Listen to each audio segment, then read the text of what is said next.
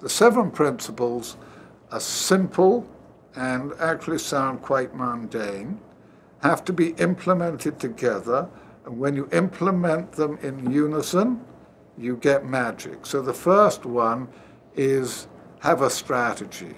Well, that'll blow the audience to pieces, right? Have a strategy. That's a really unique one. The next one is choose a structure and what the core function of the organization is. After that, how many levels you're going to have in the organization. Once you've got the levels right, what is the work at each level? So every employee understands the work they're going to be held accountable for. Fifth one is clean up and define all the lateral relationships in the organization.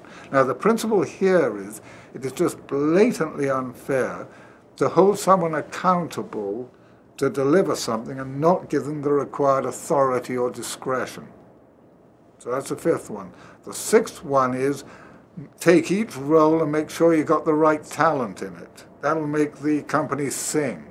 And the last one is make it all happen with management practices.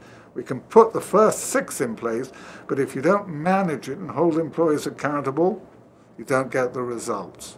So I talked earlier, I talked at the beginning of this about the seven being interdependent. Right? Each one feeds on the other. You get those in place and then you manage.